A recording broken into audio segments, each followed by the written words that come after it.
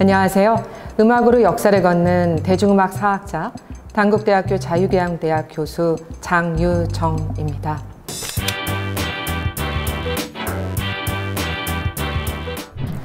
어, 여러분 혹시 이 노래 아시나요? 시골 영감 처음 타는 기차 놀이라 차표 파는 아가씨와 승강이라네.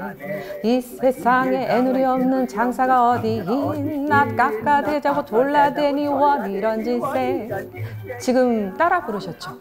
제목은 몰라도 가수는 몰라도 모두의 무의식에 자리 잡은 그 노래의 원조 강홍식의 유쾌한 시골 영감입니다. 많은 분들이 서영춘의 서울 구경이란 제목으로 더 친숙할 텐데요. 그 노래의 원곡이 무려 1936년에 일제 강점기 때 나왔어요. 놀랍죠? 어, 오늘은 이 유쾌한 시골 영감이라는 노래를 짚어보려고 합니다.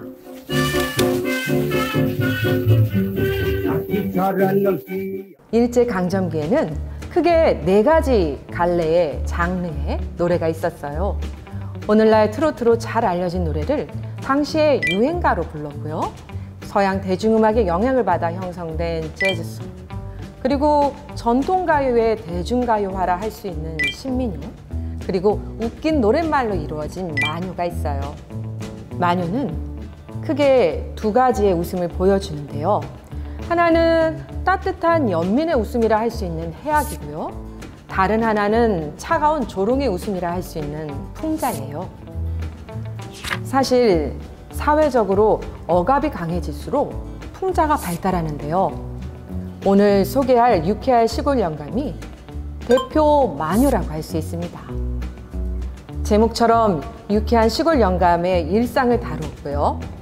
하지만 그 내용을 보면 웃고만 말 수 없는 짠한 마음이 들어요. 왜일까요? 일단 이 노래의 원곡 먼저 보시죠.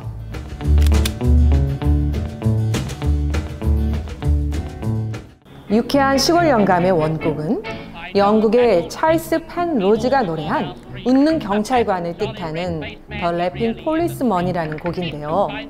뚱뚱하고 늙었으나 정말 잘 웃는 경찰관을 소재로 한 노래로 중간에 똑같이 웃음소리가 들리시죠? 사실 이 노래의 진정한 원곡은 더 이전의 노래로 거슬러 올라가는데요. 원곡은 1890년대에 조지 존슨이 부른 더 래핑송입니다. 이 노래는 1890년대 음반에 수록되기 시작한 흑인 민요를 뜻하는 쿤송이라고 불렀는데요.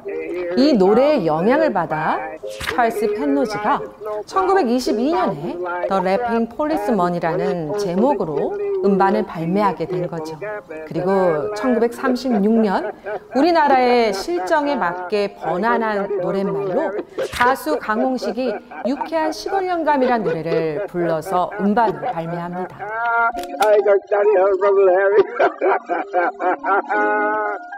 유쾌한 시골 영감은 음악적으로는 재즈, 문학적으로는 마녀라는 평가를 받고 있죠. 시골 영감이라는 제목처럼 문명의 수혜를 받지 못한 시골 영감이 생전 처음으로 기차를 타고 서울로 오면서 겪게 되는 일을 웃음과 연민으로 풀어냈어요. 가사 한번 볼까요? 시골 영감님께서 서울 구경을 떠나셨는데 잠옷 유쾌한 장면이 많았겠다라는 사설을 시작으로 영감이 난생 처음으로 기차를 탈 때부터 서울에 도착해서 인력거를 탈 때까지 좌충우돌하는 희극적인 행동들을 연출하게 됩니다. 이 노래가 의미가 있는 것은요 단순히 이 노래를 듣고 웃는 것에서 끝나지 않기 때문인데요 웃음으로 유쾌하고 명랑한 분위기를 연출하지만 그저 웃고 말기에는 미진한 구석이 있어요. 처음 와본 서울의 낯선 풍경이 황당했던 시골 영감은 사실 이 모습은 당시의 대중들과 많이 닮아 있는데요. 식민지식이 근대와 문명에 적응하지 못한 채 표류하는 일반 사람들의 모습을 시골 영감을 통해 보여주고 있는 거죠. 시골 영감은 동정과 연민을 불러일으키는 존재라는 점에서 이 노래의 노랫말이 지닌 의미가 상당히 크다고 생각합니다. 식민지식이 당대인에게 가장 강력한 근대의 충격을 던져준 문물은 아마 새로운 교통수단인 전차와 기차라고 할 수 있는데요. 이런 기차에 적응하는 것은 시간과 규범 또 규율에 길들여지는 것을 의미하기도 합니다. 결국 이 노래는 차갑고 냉정한 근대의 질서를 만난 당대 서민들의 당혹감을 해학적으로 묘사했다고 볼 수 있는데요.